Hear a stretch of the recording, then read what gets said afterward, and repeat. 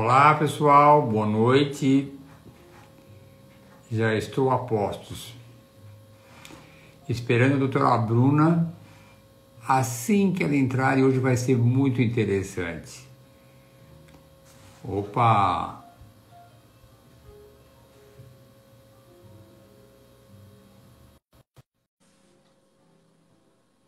Já estou aguardando ela aparecer. Já, já. Oh! Que felicidade! Quanto Olha, tempo! Você sabe que a, a, parte, uma das partes que eu mais gosto de fazer live com você, essa é a primeira, o primeiro momento. Você faz uma festa tão grande, me sinto Ai, tão importante. Você faz assim, faz, nossa, que delícia! Que alegria fazer live com você. Aquele momento que a gente aproveita para sugar todos os seus conhecimentos, sugo para mim e para as minhas pacientes também. obrigada, obrigada. Beijo para vocês, beijo para a equipe toda. E um beijo para você, é um prazer estar aqui. Eu espero que a gente tenha bastante pessoas para nos ouvir, para te ouvir, mas eu vou fazer meus comentários sempre. Olha, tem tanta pergunta aqui, mas tanta pergunta, que eu já vou até antecipar, que eu não, não vou conseguir passar todas. E tem muitas perguntas que são muito mais condizentes com a, minha, com a minha especialidade. Então, se eu não puder comentar durante essa live, amanhã já é um primeiro aviso, eu vou repetir esse mesmo aviso. Amanhã eu faço ao vivo, eu vou respondendo uma por uma e deixo publicado no meu story. Mas eu vou falar, eu vou começar já a primeira parte pedindo para você fazer falar uma coisa. É uma coisa que você já falou várias vezes. Mas como é, imagina um filme antológico, tem aquela cena que você vê várias vezes, né? Vamos botar aquele filme do Ben-Hur que tem as bigas correndo, que vai, mas que fica muito bom. Um filme que eu gosto é o filme os gladiadores, a hora que ele fala assim, I'm the gladiator.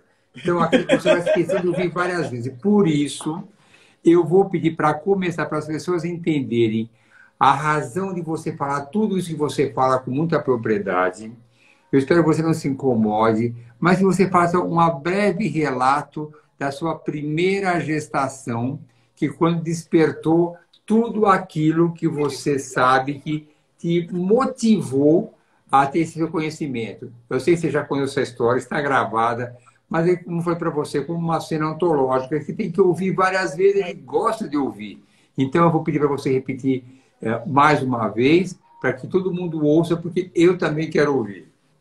Eu vou dizer para vocês, quem está aqui não sabe, o doutor Arnaldo, a gente combina a live e eu já fico aqui na expectativa de quais são as perguntas. Eu me sinto tipo na prova oral tipo de título, tá? Não é prova oral de faculdade, não. Não, mas não é. As perguntas, assim, você... é que tudo que você fala é muito bom de ouvir. Eu respeito muito o seu comentário e você fala de um assunto que é muito condizente com as minhas pacientes, porque dentro da, da minha especialidade que eu faço, que é a medicina reprodutiva, eu preciso realmente do conhecimento de outros profissionais. Então, hoje em dia, nós temos que agregar novos conhecimentos. E você agrega conhecimentos que eu não tenho, porque não é aquilo que eu mais estudo. Exato. Então, você se preocupa muito com a gestação, e eu acho muito preocupante. Eu trago isso para o meu tra trabalho. Porque qual é o meu trabalho? É qual o melhor protocolo para conseguir os melhores ovos, os melhores embriões e conseguir com a máxima rapidez uma gestação. E o que eu preciso, o que eu preciso para isso? Ainda mais que hoje em dia, cada vez mais, nós temos pacientes com idade avançada, 40 anos. Tem até um e-book que eu escrevi que é Tratamentos de Reprodução Assistida para Mulheres Maduras, agora que tem mais de 40 anos. Mas eu preciso dessa, do seu conhecimento. Eu, eu aprendo com você, o que eu aprendo com você, eu trago para conseguir os meus melhores resultados. Eu ganho todos os louros do, do prazer de ter conseguido sucesso e muitos não sabem que eu estou usando aquilo que eu conheci com a Bruna Pitaluga. Então, é uma prova de vestibular para concurso. Apenas é uma maneira de poder uh, incorporar mais conhecimento aos tratamentos de reprodução assistida para que a gente consiga cada vez mais os melhores resultados. Mas eu gosto tanto da sua história, do seu estresse que você contou na gravidez, mas e a gente aprende muito na vida com estresse. Até eu falo aqui, se prova para as meninas aqui que eu, sou, eu fico muito mais calmo quando estou estressado. Eu gosto do estresse, eu fico agitado, preciso saber das coisas. Então, e você também é uma pessoa cheia de energia. Então, por isso que não se senta uma prova, assim, é sugar para incorporar mais aos meus conhecimentos, que as pacientes entendam melhor, para que elas tirem alguns meses, porque só de pergunta de autismo aqui tem um monte. Imagina. É, que tudo isso pode ajudar, porque hoje em dia o autismo está sempre presente no meu dia a dia. Uh, muitos pacientes vêm aqui e me perguntam, doutor, eu quero fazer biópsia embrionária, porque eu, eu, quero evitar o autismo. Eu tenho que explicar que na biópsia embrionária se avalia as aneuploidias, que são os números de cromossomos, se vê se não de Down, Eros, Patal, mas não se avalia o autismo. E aí entra todo esse seu conhecimento que eu posso, como posso minimizar essa chance. Esse metilfolato, ácido fólico tem a ver com autismo, o que mais que tem que ver? Então, vamos começar pelo início, porque nós temos uma horinha e eu quero aproveitar, me aproveitar de você. Vamos lá. Vou contar para vocês, então, um pouquinho dessa história. doutor Arnaldo é, é, já escutou eu falando antes, mas eu vou contar para quem não está aqui e já não me escutou. É, na medicina, eu acho que a gente tem sempre um momento muito definidor. É, participar, escolher esse, esse processo. E para mim, obviamente, foi a gestação. Eu, eu me formei na Universidade de Brasília, eu fiz residência na Universidade de Brasília, eu fui chefe dos residentes, eu fui residente homenageada. Eu era SS na residência. Eu fui assim, eu, eu, realmente eu me dediquei muito ao meu conhecimento da residência e eu me orgulho muito do meu caminho, meu trajeto dentro da, da, da minha fase de aprendizado dentro da obstetrícia.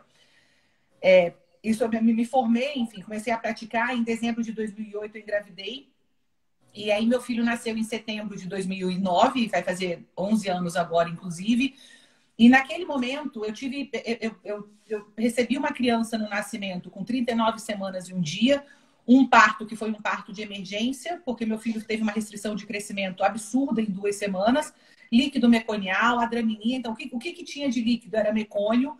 Ele nasceu que a gente chama de sopa de ervilha dentro da obstetrícia, que é um quadro bem grave, com 39 semanas e um dia, não era pós-datismo, era sofrimento placentário e alterações metabólicas fetais. Meu filho, é, é, eu sempre falo que é neonatologista e a, e a quem estava na sala comigo realmente foi a pessoa mais incrível desse processo todo. Obviamente, obstetra que não, não teve estímulo, não, não praticou nada, fez uma cesárea assim, limpíssima. E a obstetra e a neonatologista que ajudou o meu filho a nascer, ele teve tinha líquido meconial, foi aspirado, realmente a situação foi, foi muito grave. Pra vocês terem uma ideia, eu tenho 1,72 de altura, e meu filho nasceu com 2,5 kg, saiu da maternidade com 2,380 com 39 semanas. Então, uma criança muito pequena, né? Um pequeno para a idade gestacional. E eu cheguei em casa com aquela criança, eu saí da maternidade com, com a recomendação: olha, você tem que amamentar ele de 3 em 3 horas, você vai ter que acordar ele, ele é muito pequeno, você tem que prestar atenção na, na diurese, você tem que prestar atenção nas fezes, e pelo amor de Deus, você tem que cuidar dele. Sabe aquela coisa, eu cheguei em casa, eu falei, não, não, não tem alguma coisa errada. Eu falei, poxa, eu fiz tudo certo, eu preenchi meu cartão de pré-natal certo, eu fiz tudo certo, né? E, e aquilo me, me, me chamou a atenção, doutor Arnaldo, para o que, o que a gente está fazendo de errado dentro da obstetrícia? Porque se eu sigo um padrão eu sigo um protocolo, aonde é que nós não temos o controle dessa informação? Nesse momento, eu comecei a procurar sobre metabolismo, uma coisa que nós não vimos na faculdade de obstetrícia. Ninguém estuda metabolismo e obstetrícia. Eu não aprendi, na residência eu aprendi a operar super bem, eu aprendi a, a, a, é muito procedimento, procedimento, sulfato de magnésio, pré-clã sulfato de magnésio, protocolo de ocitocina, protocolo de indução. A gente sabia isso de cabo a rabo. Mas ninguém para para falar assim, o que, que eu posso fazer para melhorar os resultados? E foi nessa, nessa tentativa que eu fui procurar. Eu comecei a estudar metabolismo e hoje, hoje, agosto de 2020, eu digo para vocês, o que eu, o que eu aprendi depois do nascimento do meu filho é um milésimo do que eu sei hoje. Um milésimo, sem, sem exagero nenhum. Eu, eu, lá eu comecei uma história que hoje eu sei que não vai ter fim e que eu vou morrer sem ter o conhecimento que é necessário para a gente entender todo esse processo da gestação, que é o processo mais complexo da existência humana, né, a gestação é de altíssimo risco, a gente estuda a história da gestação é de altíssimo risco. A gestação humana, ela é uma gestação que, que, que tem, necessita de uma invasão e de um metabolismo materno alinhadíssimo e afinadíssimo.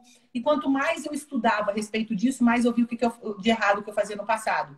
Dieta equivocada, alteração de atividade física, eu dava plantão noturno, empurrava maca três horas da manhã, eu operava para eclâmpsia grave e eclâmpsia, etc. e companhia às três horas da manhã. Eu estava grávida, achava lindo eu estar grávida de sete meses operando às três horas da manhã. Então, hoje eu sei que eu paguei um preço. E aí eu mudei para a história da minha filha. Minha filha nasceu em, em fevereiro de 2012, completamente diferente o pré-natal dela, já diferente do que eu tinha feito dele e completamente diferente do pré-natal que hoje realmente eu pratico, das informações que eu realmente pratico, mas já tinha um pouco dessa, dessa, dessa avaliação metabólica. Aí eu optaria pelo plantão, plantão noturno, tive um controle muito maior. Minha filha nasceu com 3,480, enfim. E hoje eu vejo os dois. É, é, é, difícil a gente falar dos filhos, né? Assim, assim, a gente põe os filhos, é muito complicado. Mas hoje eu tenho controle, eu tenho dois filhos completamente separados no conceito Doha de dentro de casa, doutor Arnaldo. Eu olho para os dois e eu falo, esse tem alterações disso, esse tem alterações daquilo, isso foi por estresse. E o meu filho tem uma saúde mais, não vou dizer fragilizada, mas ele tem uma saúde que eu sempre estou assim mais controlando ele do que ela. Mas eu acho muito importante isso que você está falando, porque uh, lógico que você conseguiu fazer na segunda gestação, não é aquilo que todo mundo consegue. Muitas vezes, no meu pré-natal que eu faço aqui, e eu digo que eu faço pré-natal, mas não faço com tanto ênfase em detalhes como você, mas estou melhorando cada vez mais, porque você valoriza muito isso, eu é. aprendi a valorizar. E, e realmente hoje em dia, nos dias é muito complicado você falar é, diminua seu trabalho, diminua sua carga horária, porque mesmo agora nesse período de home office, a reclamação mais comum que as pessoas falam, dizem que trabalham muito mais em casa do que quando trabalhavam ah, uhum. no lugar do, do, trabalho delas. Que levantam cedo, não conseguem, não conseguem responder os e-mails e assim por diante. Mas eu acho importante tudo isso para enfatizar a importância desses detalhes. Eu achei muito interessante você quando falou, eu fazia cesárea às três da manhã de pré-eclâmpsia e estava se achando o máximo, como eu eu estou interpretando aqui, né? Sou poderosa, consigo, eu posso, né? Eu confesso que em muitos momentos eu tive isso, uh, faço na minha vida, faço um montão de coisa hoje em dia. Ontem eu trabalhei, à tarde eu saí, eu fazia muitos passos de madrugada, mas como eu não tinha, eu não tive nenhum problema de eu gerar nenhum bebê, uh, fui assim em frente. Então, essa história foi muito interessante, mas foi o que despertou para você a necessidade de se aprimorar mais no metabolismo. E, mais uma vez, eu falo que é isso que você desperta em meus profissionais. Você sabe que eu faço o seu curso, porque uh, me despertou uh, uh, o desejo de saber mais sobre esse assunto. Então, quando eu quero me aproveitar do seu conhecimento, na verdade, eu quero repassar para ficar cada vez melhor. E como você falou, até hoje você está é, é, não está satisfeita com aquilo que você sabe. Você sabe que você pode melhorar. E uma coisa muito boa para nós é essa insatisfação. E mais uma razão, nós estamos aqui juntos conversando, porque eu estou insatisfeito com meus conhecimentos. E é isso que movimenta a gente a ficar cada vez melhor. Eu não posso achar, ah, estou bem, eu sou bom. Você é bom em algumas coisas. E eu falo sempre que eu não me preocupo com aquilo que eu sei. O problema é aquilo que eu não sei. Então, toda vez que vive nessa luta, aí sabe que sempre podemos aprimorar. Eu sempre estou achando que eu posso melhorar, que eu posso melhorar, que eu posso melhorar. E é isso que me movimenta. Mas eu já vou fazer uma pergunta para você aqui. Eu acho também muito importante, porque essa pergunta vem frequentemente para mim antes do início dos tratamentos de reprodução assistida. É, uh, o, que, o que eu posso fazer, se é que é possível, como eu posso minimizar a chance dessa doença uh, do autismo? Eu vi uma, uma live recentemente sua, que a proporção de crianças com autismo nos próximos anos vai ser cada vez maior. E aí eu preciso saber aonde entra a nossa culpa de obstetra, de. Tá eu vou botar nossa, não. Eu vou te excluir disso, tá certo? Os que não têm essa, no, da, dessa atenção, o que, que eu posso fazer para maximizar a chance de uma criança saudável e diminuir a possibilidade de ela ter um, um, um autismo? O que, que a gente pode fazer antes de comer, antes de ela querer engravidar, hein? Você sabe, comigo, eu não pego uma paciente grávida, eu pego uma paciente que quer engravidar, está com alguma dificuldade, eu tenho que prepará-la para ter uma gestação saudável, eh, para eh, não ter complicações, e copiando a sua frase para as próximas gerações, os seus netos. Eu acho isso super demais, os seus mil dias que você comenta bastante também. Eu, então, como você vê, eu te observo, eu acompanho todos os detalhes. Então, é, como, eu não estou aguentando, sempre... doutor Arnaldo. Meu Deus do céu, meu ego vai ficar desse tamanho hoje. Vai dar Não, mas é verdade. Eu falei para você. Eu sou uma pessoa incansável. Em todas as áreas eu quero saber cada vez mais. Então, é, e sempre eu tenho que repetir essas lives. Muitas vezes eu assisto outra vez para pegar detalhes que você falou, mas é a maneira que eu tenho de cada vez fazer o melhor para os meus pacientes. Me considero bastante competente, pelo menos razoável, mas achando que eu não sei tudo, eu quero fazer cada vez melhor. Então, eu sou incansável. Então, me fala sobre o autismo antes mesmo da paciente engravidar, como é que eu posso tentar minimizar isso? Essa live vai ter umas 10 horas, né? Porque esse aí é, esse é o assunto do. Eu acho que esse vai ser um, um, um, um dos assuntos mais importantes que vão ser, serão discutidos dentro da obstetrícia, porque os dados de autismo eles têm subido, como o doutor Arnaldo falou para vocês. A gente, os, os, os a, a, estatística de pacientes que vão nascer, de crianças que nascerão com autismo, ela só tem um crescimento exponencial, não existe, ah, estabilizou, ah, diminuiu. Não, a gente está indo para praticamente um para um em 2050. Então, realmente, a gente pensar que daqui a 30 anos vai ter um, um adulto sem diagnóstico de autismo e um adulto com diagnóstico de autismo. Realmente, esses dados são assustadores. Se a gente for pensar é, é, na base que é o autismo, né? O autismo é uma doença que ele é uma desconexão de processos fisiológicos cerebrais. Então, por isso que nós temos vários graus, várias formas, várias apresentações do, do, do espectro autista, né?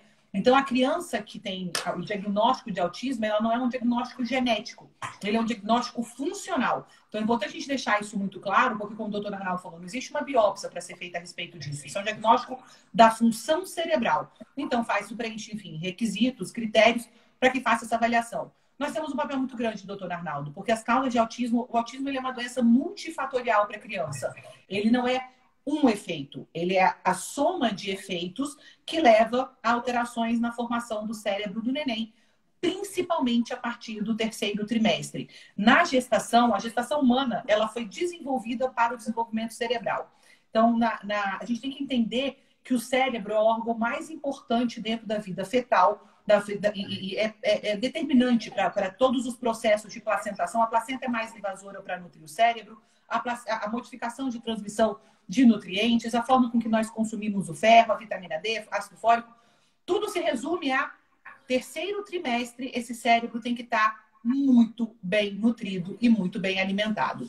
Não só deficiências nutricionais têm importância, então hoje a gente sabe que principalmente vitaminas do complexo B, alterações de ômega 3, deficiências de vitamina D, tem importância no desenvolvimento cerebral, mas também a dieta dessas mulheres tem importância. Tem um trabalho é, publicado na, na, na, Nature da Silvia Kaplausch. Silvia é uma hematologista do Rio de Janeiro, eu adoro, acompanho muito. E ela tem um trabalho falando sobre a relação de glicose e autismo. Não excesso de glicose só, que essa é uma, uma ideia também equivocada. A alteração de glicose nos dois extremos ela é responsável pelo espectro autista. Então, filhos de mães que tiveram uma condição de resistência à insulina ou aumento da insulina na vida intrauterina, ao nascer, eles encontram um ambiente completamente diferente.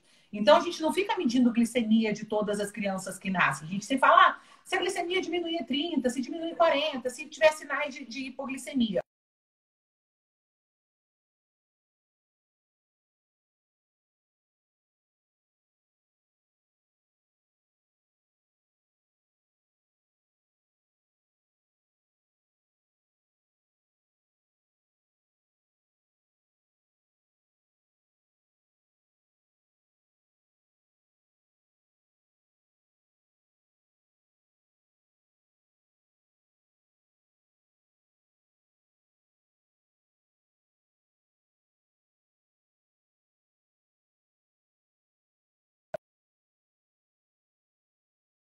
Consigo ver se o doutor Arnaldo.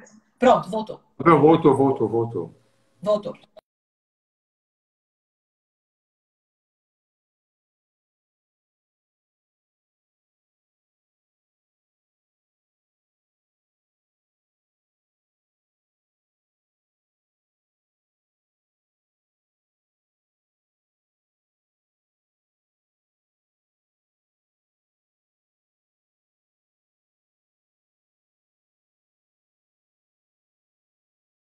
É o meu, não? Opa! Estamos de volta? Sim, acontece. Isso faz parte das lives, né? Aliás, as, pessoas, as pacientes sempre colocam aqui, tira os comentários, tira os comentários, mas para nós que acompanhamos aqui, é muito importante, porque com esses comentários que eu estou vendo aqui, eu, sou, eu fico até com a vista mais baixa, porque esses comentários, às vezes, eu vou tentar responder, eu vou tentar conectar com outras dúvidas também. Então, tem pessoas que não querem que tire mais para nós, para poder evoluir bem, para saber o que está acontecendo. comentário. Como é que é? às vezes a gente usa os comentários mesmo. A gente às vezes vê o que está passando para e segue, É, eu gosto de saber. Tá bom. Eu estava falando então, vamos lá. Arnaldo, a gente estava falando sobre autismo, né? Eu falei que a dieta materna é muito importante, que as alterações nutricionais são importantes, que a exposição materna a, a, a disruptores endócrinos, por exemplo, metais pesados, pesticidas, herbicidas, então essas, glifosato, tem uma série de informações que são hoje publicadas relacionando o autismo. E é importante que talvez exista, que tenha também uma, uma propensão daquela criança. Existe já um, um, um, trabalhos mostrando as variantes genéticas de espectro autista. Geralmente são crianças que têm um processo de destoxificação é, prejudicado, um processo de antioxidação. São crianças que têm geralmente variantes genéticas na glutationa transferase, que têm alterações nas peróxidos mutases. São enzimas que produzem antioxidantes. Então, às vezes, é, é, é, existem já, talvez já exista uma, uma propensão genética e naquele ambiente intrauterino que ela tenha sido exposta a alterações que sejam adversas, tem essa complicação relacionada ao desenvolvimento cerebral.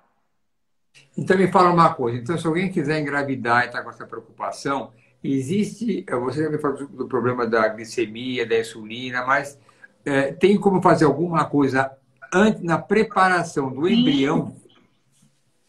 O que eu posso, agora, o que, que eu posso suplementar eh, para ela? Qual, qual cuidado eu tenho que ter para minimizar, vamos botar porque pode minimizar as, as, condições, não evitar totalmente, né? Exato. É isso que é importante falar, doutor Ronaldo, porque assim, ah, eu não quero ter autismo. A gente não tem nunca como fazer isso. É impossível. A gente existem condições que a gente sabe que acontecerão, mas não na proporção de um para um. Então, por exemplo, ah, eu não quero ter abortamento. Eu não posso prometer isso. Eu não quero ter pré-eclâmpsia. A gente não promete. Mas a gente tem que fazer de tudo e ter certeza que a gente fez de tudo para que aquilo não acontecesse. De novo, eu vou morrer sem ter conhecimento sobre isso. Então, a gente, por mais que eu estude, por mais que eu leia, as definições de receptores, a interação de receptores, a interação gênica dessas informações, isso é muito complexo. Hoje a gente tem um conhecimento. Ai, meu Deus, travou outra vez, hein?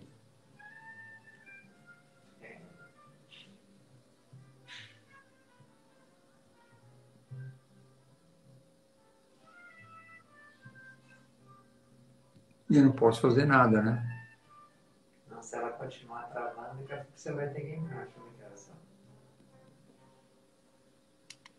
O que, que eu.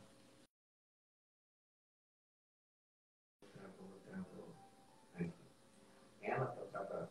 É, ela vai entrar outra vez. Então ela saiu. Doutora Bruna, somente. Desativa os comentários para mim. Eu não sei como é que desativa. Só entrar nos seus três pontinhos. Só o senhor desativo. Lá em cima, lá em cima. Desativar comentários.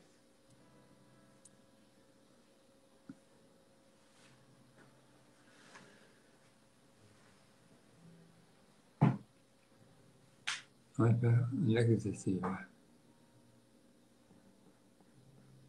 E aí?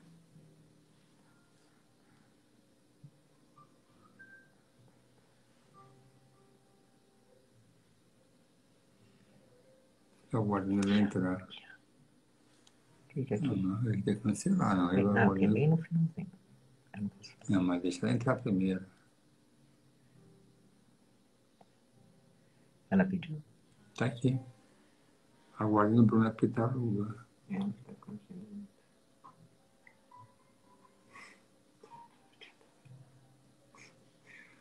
Pessoal, quando acontece isso é super chato, mas não tem solução.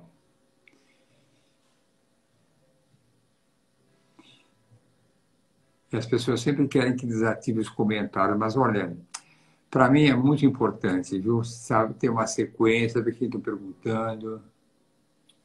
Não está conseguindo participar, tá? Um pouquinho só.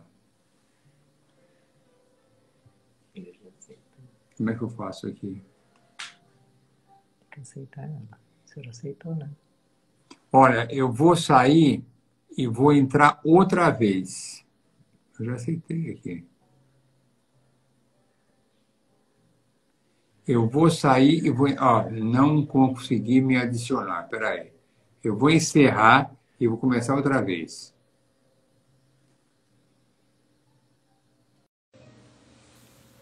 Entrei de novo.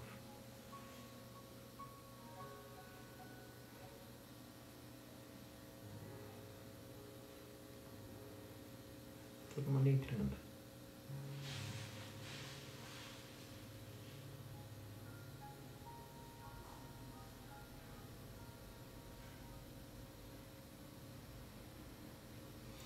Opa! Helena, chegou, chegou. Vamos ver. Ainda não.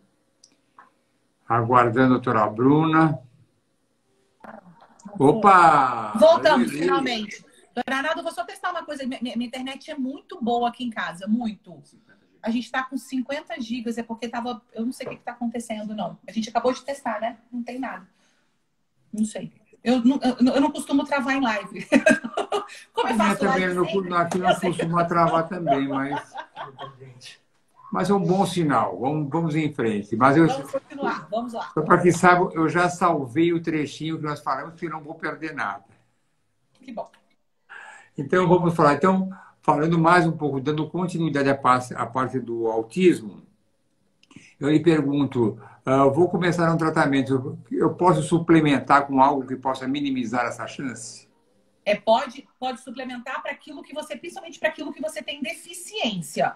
Então, é muito importante deficiências de antioxidantes, como zinco, selênio, vitamina D, vitamina A, coenzima Q10. Então, aquilo que a mulher tem deficiência, o excesso não é benéfico. Então, Bruna, eu não tenho deficiência de zinco. Tomar mais zinco resolve o meu problema? Não. Eu não tenho deficiência de selênio, mas tomar selênio vai resolver o meu problema? Não. Por isso que é importante fazer uma avaliação personalizada. Então, tem algumas alterações nutricionais. Vitaminas do complexo B são extremamente importantes para o desenvolvimento cerebral. Alterações de colina.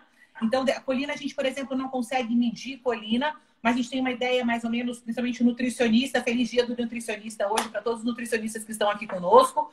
É, alterações de colina, por exemplo, a gente consegue ter uma ideia de quanto a mulher consome de colina é, na, na, na, dieta, então o nutricionista consegue fazer esse cálculo. É, DHA é super importante, iodo é super importante, tudo aquilo que vai fazer nutrição cerebral para esse neném vai, ser, vai, vai definir bastante a respeito da, da questão relacionada ao autismo. É, outra coisa que funciona muito, ciclo circadiano, tá, os trabalhos mostram que alterações de ciclo circadiano, principalmente aquelas alterações que levam à deficiência de produção de melatonina, estão relacionadas à alteração de amadurecimento e desenvolvimento é, do cérebro fetal. Então, mulheres, mulheres que sofreram estresse, por exemplo, também têm relação com isso. Tem trabalhos mostrando que mulheres que foram submetidas principalmente a estresse de guerra, tsunamis, terremotos, essas pessoas são avaliadas e tem um aumento do índice de autismo. Esses trabalhos são sempre feitos com associação, né, doutor Arnaldo? Ninguém consegue. São estudos científicos assim, ah, qual é o trabalho duplo cego, randomizado, multicêntrico? Impossível a gente fazer isso, não teria ética para fazer um tipo de trabalho desse. Então, a gente tem muitas informações de associação, então a gente consegue fazer esse, essa, essa correlação entre o evento e o desfecho, que é um conceito do ORAD, inclusive, e a gente consegue fazer principalmente trabalhos em estudos em animais. E para quem está aqui é cientista e vai gostar de saber disso, ratos são os melhores, os melhores modelos animais hoje para a gente fazer teste, porque a placentação do rato é muito parecida com a placentação humana. Ó, você vê, eu tenho que perguntar o que me mandaram aqui e, e ver de encontro aqui a Kel 4266. Qual a dose de colina e fosfatidilcolina para tentante? É necessário? É, eu, eu vou dizer para você o que, que eu acho necessário. Teoricamente, a gente tem. A gente é, é necessário, mas se você tem uma boa dieta, talvez não seja necessário. Então, o que, que eu vejo no meu consultório? Como as minhas pacientes têm uma orientação dietética, a grande maioria já chega no meu consultório ingerindo, por exemplo, gema de ovo, ingerindo fígado bovino. Então, ela tem um aporte de colina já da dieta. Baseado no que é o cálculo do nutricionista, eu complemento essa dieta. Então, hoje, os trabalhos mostram que a gente deve utilizar 450 miligramas ao longo da gestação. Então, é a dose que é, é, é a mais utilizada durante também esse pré-concepcional. Muita coisa legal com colina, doutor Arnaldo. Talvez seja um dos nutrientes. É um nutriente super novo, super recente. É, ninguém sabe muito bem aonde foi parar a colina, se ela, ela, ela fica no grupo do complexo B, porque ela tem uma proximidade muito grande com o metabolismo do metilfolato, mas é uma, uma, uma vitamina nova dentro desse mecanismo dessa, dessa, dessa avaliação do ciclo de um carbono. E tem trabalho com esteatose hepática, mulher na menopausa, tem muita coisa legal com colina na, publicado. Eu acho um dos, dos Hoje é um dos nutrientes que eu mais gosto de estudar. E tem variantes genéticas que interferem na absorção e na, na, e na utilização da colina. Olha, eu estou vendo aqui, eu não conheço a Kel 4266, mas ela é perguntadeira pra caramba. Você tem tanta pergunta. Kel, se você estiver ouvindo, apresente-se aí, Kel, porque eu vou, eu vou te falar. Você está bombardeando. Ela aqui, olha, é uma, uma, é uma saraivada de perguntas aqui. Que você ó, quando suplementa a vitamina D com, vita, ah, com vitamina, também é, é, é importante suplementar a K?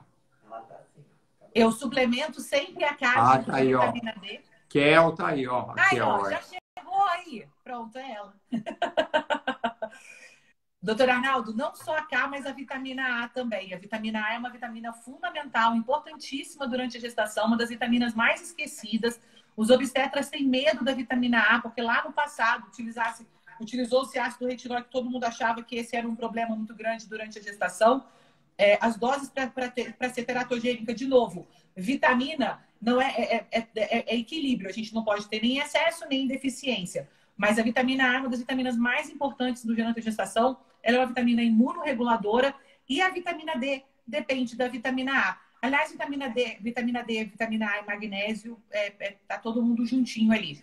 Então é importante que a gente utilize vitamina, não só a vitamina K, mas a vitamina A associada à vitamina D.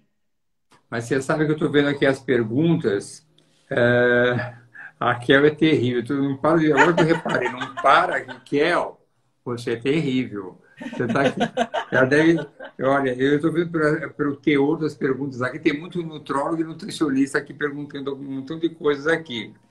Mas, e é algumas perguntas que tenho aqui, que são mais para minha parte de medicina reprodutiva, eu não vou colocar aqui, porque eu vou deixar para mim, para eu mesmo responder depois.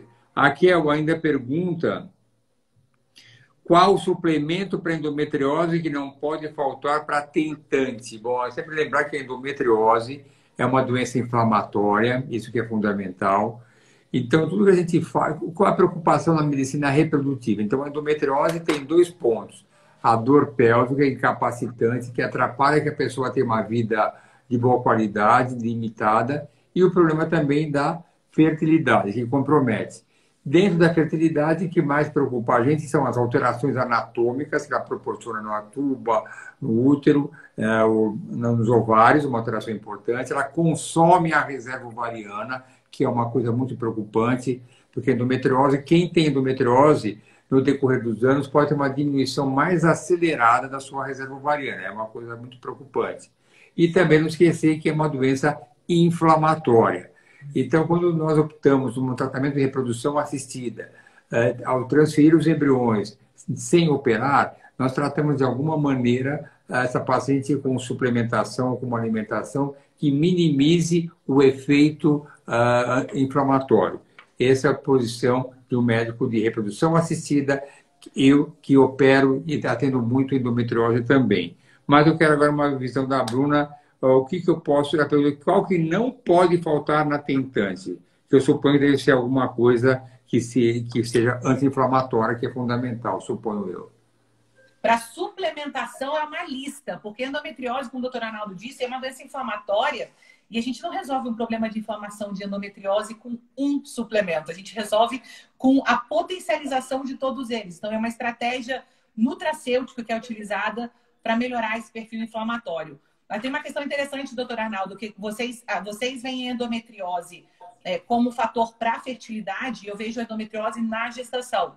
Então, os trabalhos hoje já mostram, tem trabalhos publicados, inclusive revisões sistemáticas, mostrando que existe uma relação da endometriose com alguns desfechos gestacionais, principalmente pré-eclâmpsia, porque altera aquele microambiente endometrial e altera a relação, é, como a gestação é uma doença, é uma, precisa dessa questão inflamatória, precisa dessa resposta inflamatória, a presença da endometriose modifica essa, essa resposta, essa sinalização do sistema imunológico endometrial. Isso é um fator de risco para pré-eclâmpsia, restrição de crescimento, parto prematuro. Então, pacientes que têm endometriose são pacientes que durante o pré-natal devem ter um acompanhamento direcionado para que tenha esse controle e tenha uma avaliação muito criteriosa sobre os controles, principalmente para profilaxia de pré-eclâmpsia. Dito isso, eu vou dizer para vocês, quem tem endometriose e vai engravidar precisa controlar o estilo de vida. não é negociável. Então, essa paciente tem que praticar atividade física, tem que ter exposição solar, tem que ter ciclo circadiano muito controlado, tem que ter melhora do estresse, porque a ativação da aromatase aumenta o estrogênio e piora os sintomas de endometriose. Então, existem fatores dentro desse processo que não é só suplementação, porque eu sempre digo aqui, doutor Arnaldo, o melhor suplemento não consegue compensar os erros de condutas que são feitos todos os dias. Então, a gente precisa fazer ajustes dentro da, da agenda dessa pessoa, da nutrição. Dieta é super importante. Você pode usar a cúrcuma que você quiser. Eu não prescrevo cúrcuma, mas eu estou falando que todo mundo quer usar cúrcuma e resveratrol, que é o que a gente não usa durante a gestação. Mas vocês às vezes querem utilizar esse tipo de produto e tomar refrigerante. Aí não resolve o problema. Então não vai usar cúrcuma e resveratrol, para de tomar refrigerante. Entenderam? A gente tem que ter bom senso nesse processo porque as pessoas, todo, todo mundo quer tomar um comprimido, mas não deixa de tomar refrigerante, comer o pão, a lactose, não deixa de usar um orgânico, disruptor endócrino pesticida pode ter relação, glifosato tem relação. Estudos em animais mostram que filhos de mulheres que foram expostas a glifosato, duas gerações têm aumento de risco para endometriose. Então, e não precisa as duas gerações terem risco. Então, a mãe Hoje, eu, eu estou grávida e eu vou ingerir um produto que tem alto, uma alta concentração de glifosato. Ou seja, qualquer produto vegetal que a gente está comendo que não seja orgânico.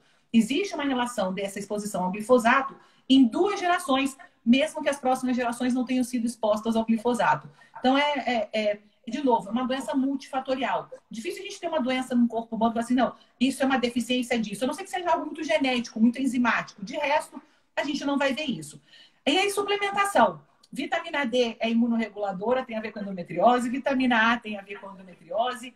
Utilização do complexo B tem a ver com endometriose. Com enzima Q10, eu gosto demais, a gente gosta demais da coenzima Q10, somos suspeitos para falar sobre coenzima Q10. É... Ômega 3 é fundamental para falar sobre endometriose também, utilização de ômega 3, principalmente da fração EPA. O que mais? Você sabe quando você fala isso, eu fico muito satisfeito comigo mesmo, porque eu vejo que eu estou numa trajetória bem razoável, não estou tão mal assim. Então eu faço muitas coisas para muitas coisas que você já fala.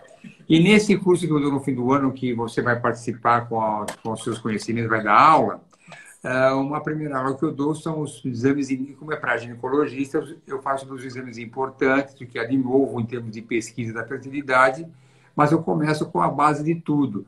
A base de tudo é você está atento aos hábitos da paciente, ao seu estilo de vida.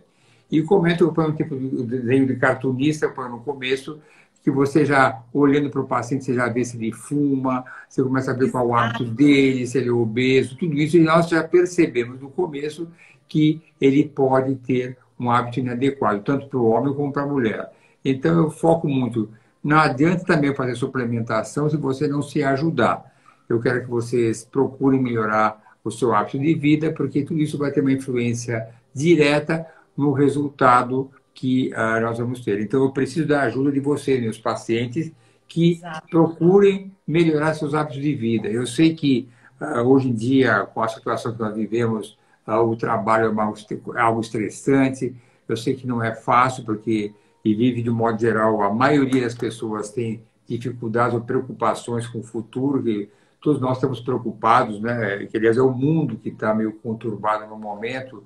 É, e eu falo que hoje em dia você não poder não ter congresso presencial é uma coisa que me incomoda, que faz parte da minha vida há anos, tá cinco, seis vezes por ano, tá para indo para congresso para fora, que isso faz a gente ficar satisfeito. Isso, é porque, como nós falamos no começo, nós somos movidos a ampliar o conhecimento, nós somos movidos a, a nossa insatisfação é muito benéfica.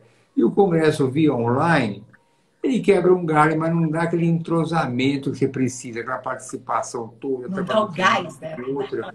É, e você acaba muitas vezes aprendendo muito mais coisa fora em conversas paralelas, porque é. muitas vezes os palestrantes que vão em congressos, eles têm uma postura ah, na, no palco diferente daquela que é, é pessoal, presencial, você conversar com ele.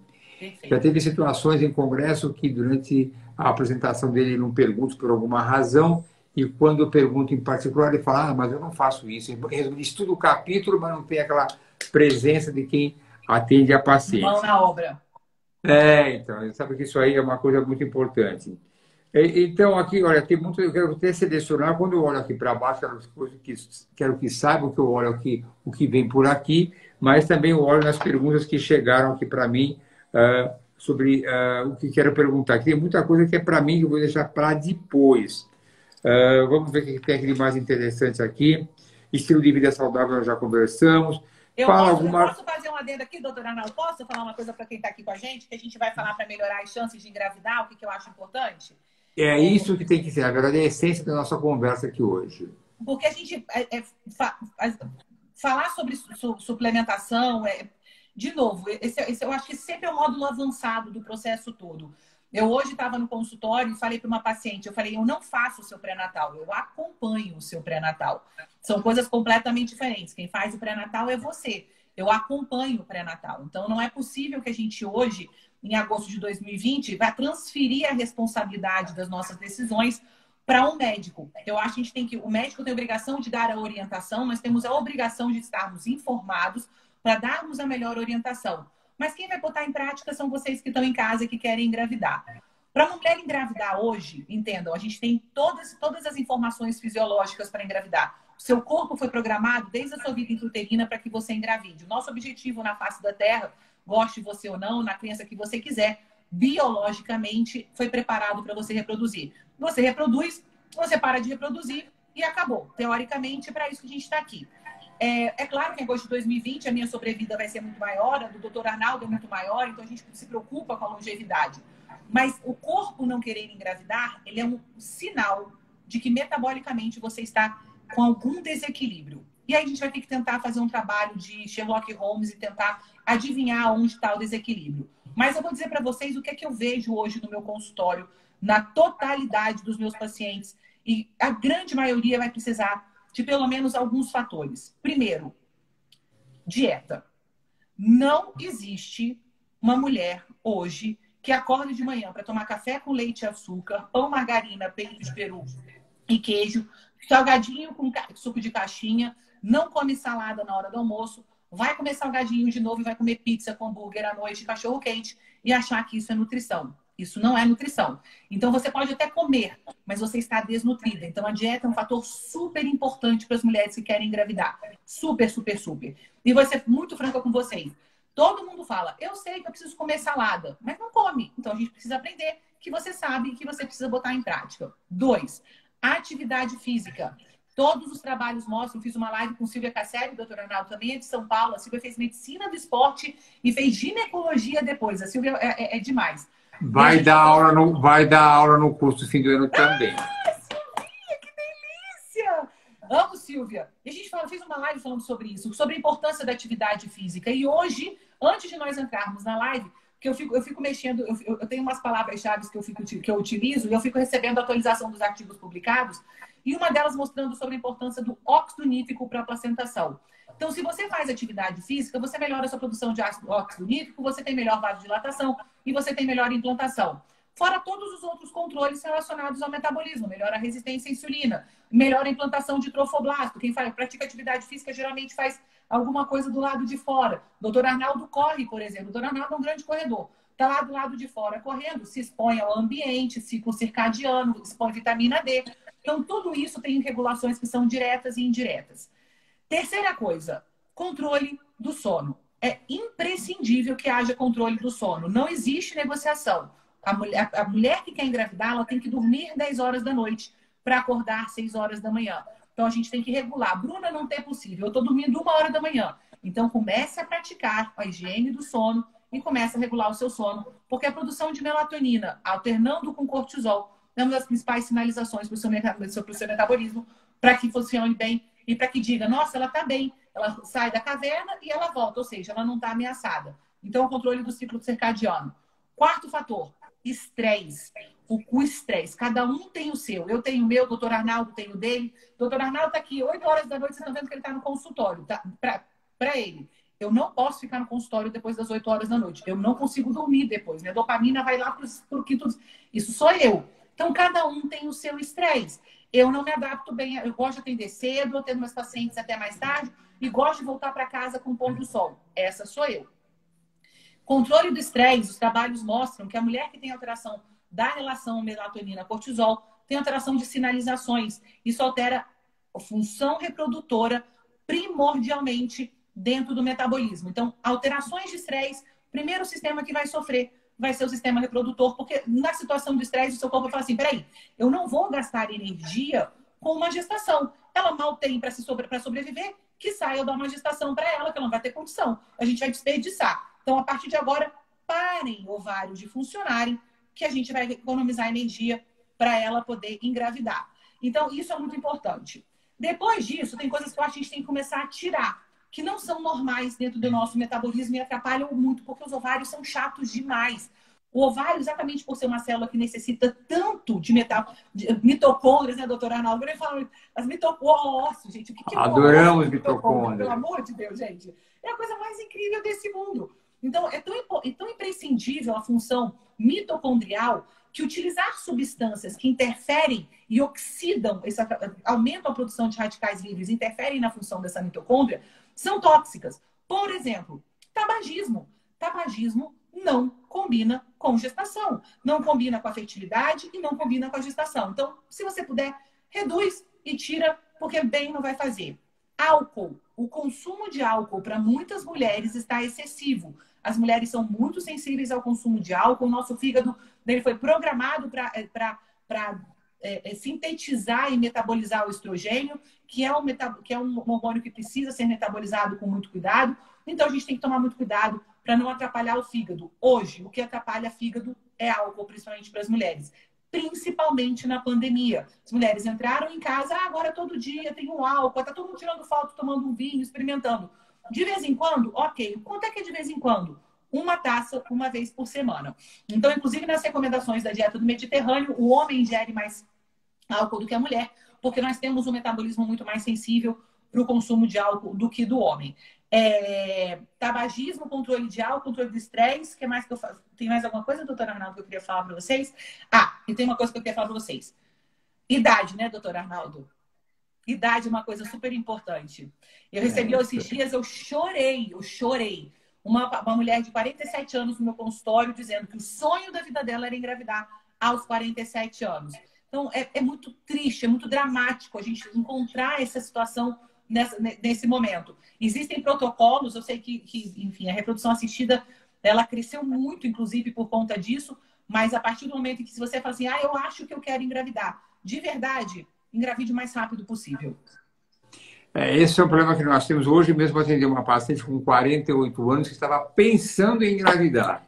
Foi pensando. Então, mas assim, as pessoas falam isso, mas depois a gente uh, vai pondo mostrando em termos de gráficos de qual a sua real chance e é desanimador.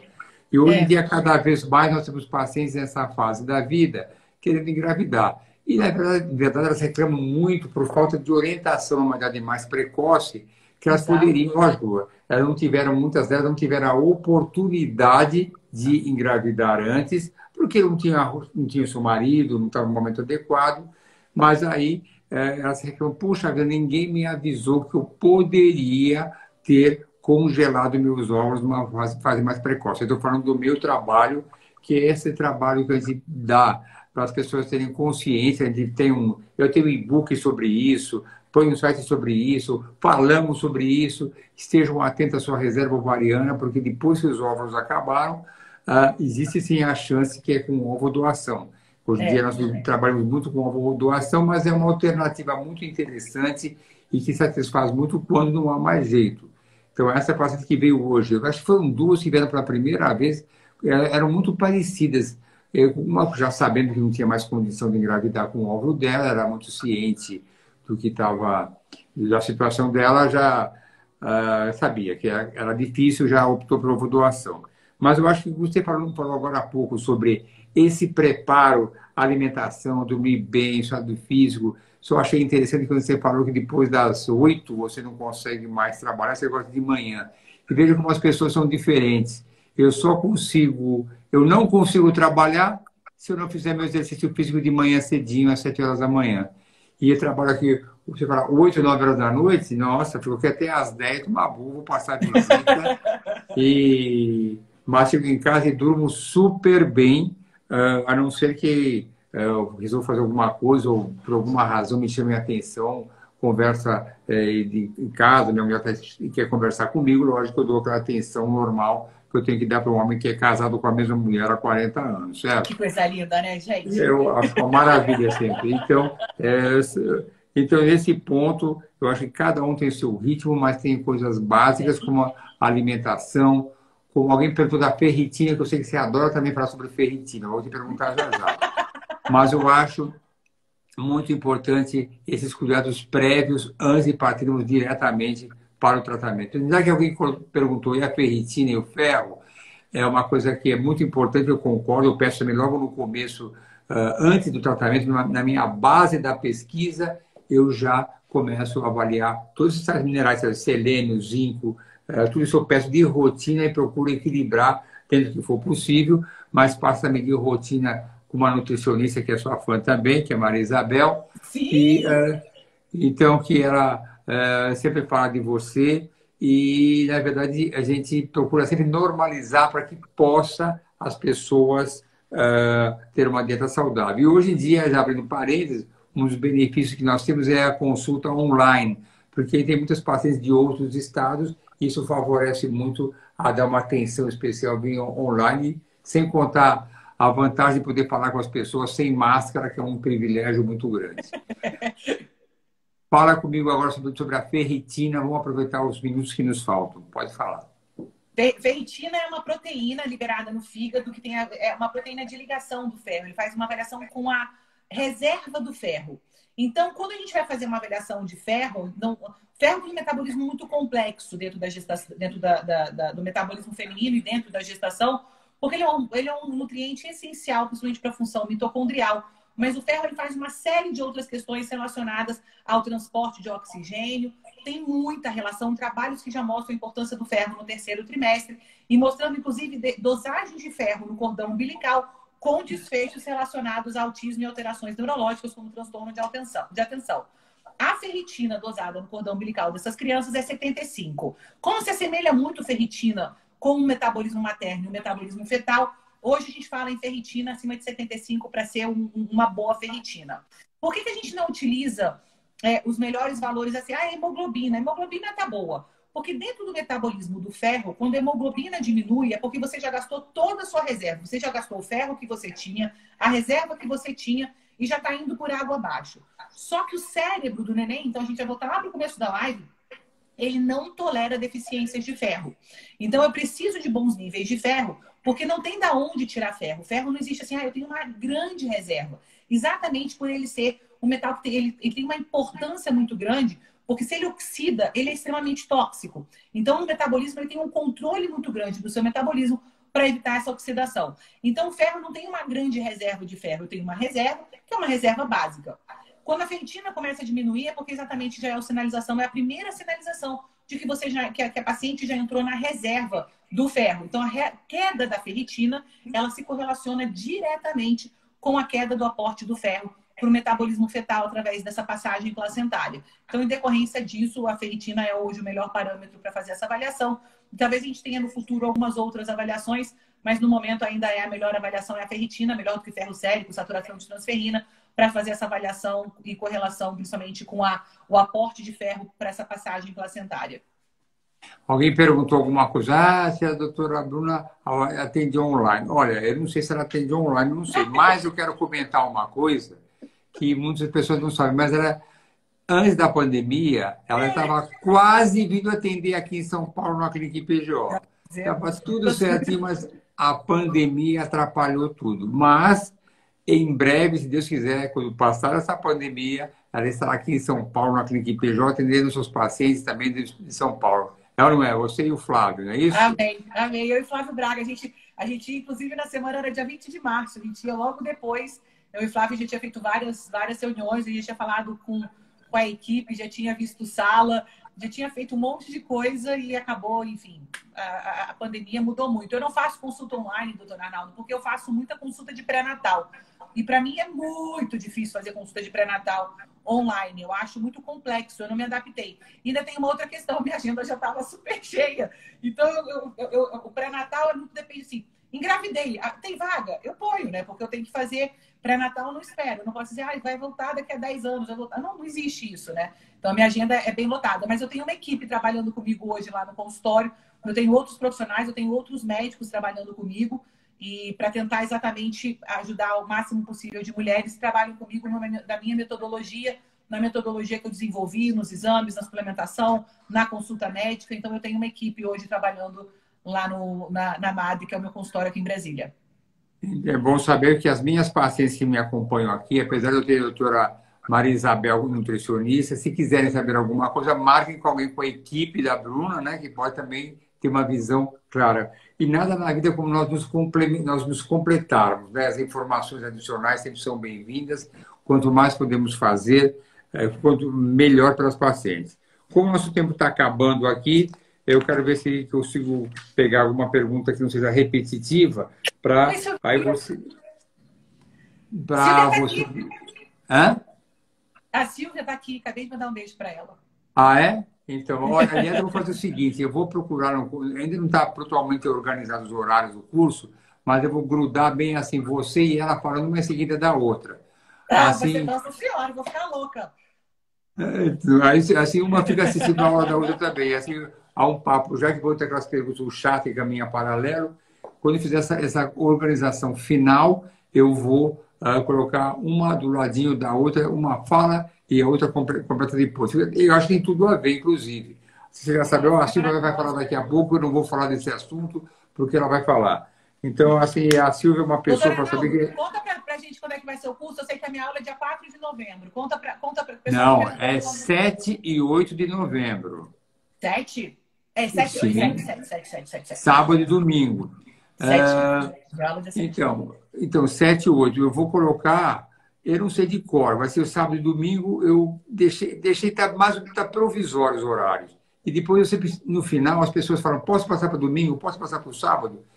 Uh, eu, vou, eu vou dar uma lapidada final, tá? o, o programa já está organizado, até fiz um vídeo recente para chamar, só já para dar aqui a propaganda, o curso é online, ele vai ser gratuito para todos que se inscreverem. Entretanto, como é véspera de Natal, nós estamos fazendo uma campanha para fazer uma doação para, um asilo chamado Bussocaba. Vai ser uma, uma doação voluntária, cada um dá o que puder.